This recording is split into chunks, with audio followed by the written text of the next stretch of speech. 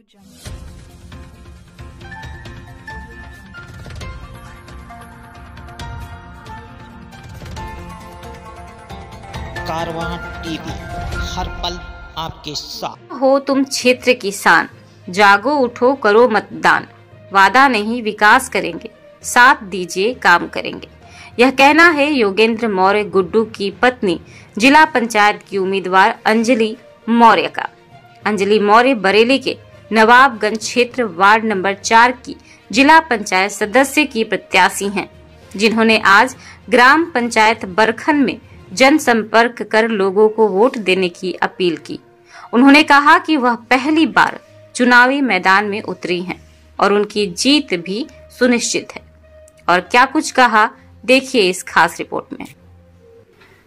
लड़ रही हूँ, निर्दलीय उम्मीदवार हूँ, ग्राम सनेकपुर से। ऐसी सर वार्ड नंबर चार से। क्या मुद्दे हैं? सर हमारा मुद्दा बस विकास ही है और विकास ही करना है। गाँव में बहुत प्रकार की समस्या है रोड की समस्या है और आने जाने के लिए रास्ते ठीक नहीं है। तो बस उसी के लिए मैंने यह निर्णय लिया है कि अगर मैं इस चुनाव में सफल हो जाती हूँ तो प्रयास करूँगी कि मैं विकास कर सकूँ।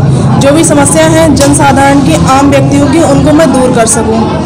और जितना मुझसे हो सकेगा उतना मैं सहयोग करूँगी। अपनी तरफ़ से हो या सरकार की तरफ़ से योजना लाने का प्रयास करूँगी और कोशिश करूँगी कि अधिक से अधिक योजनाएँ सर्वसाधारण के लिए आएँ और समस्याओं का निराकरण हो।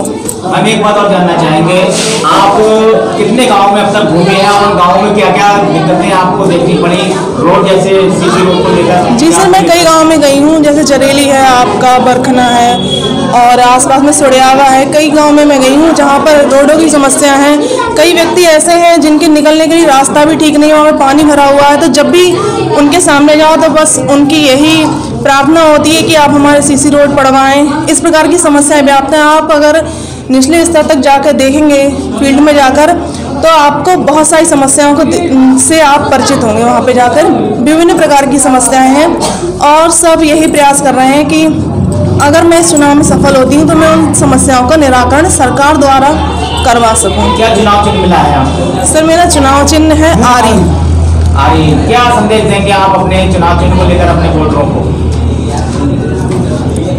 हमारा यही संदेश है कि आप जो है आरी पर मोहर लगाएँ हमें विजयी बनाएँ तथा हम आपके सामने आएँ और आपकी समस्याओं का निराकरण कर सकें। और मैं अधिक से अधिक प्रयास करूँगी कि मैं अधिक से अधिक समस्याएँ जो आप सबके बीच में हैं उनको मैं निदान करवा सकूँ। पहली बार आप चुनाव में आए हैं इससे पहले भी नहीं सर मेरा ये पहला प्रयास है और पहली बारी मैंने प्रयास किया है कि मैं इसमें सफल हो सकूँ।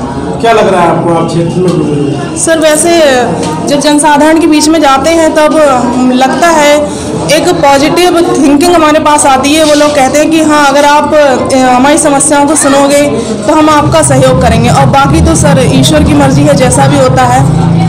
वार्ड नंबर चार में आप घूमी हैं। आपको सबसे बड़ी समस्या ऐसी कौन सी सर सबसे बड़ी समस्या यही आने जाने की यातायात संबंधी जो समस्याएँ हैं बस वही सामने आती हैं कि रोड वगैरह नहीं है नालियाँ अच्छी नहीं हैं या प्रकाश की व्यवस्था नहीं है गाँव में। यही समस्याएँ सामने आती हैं।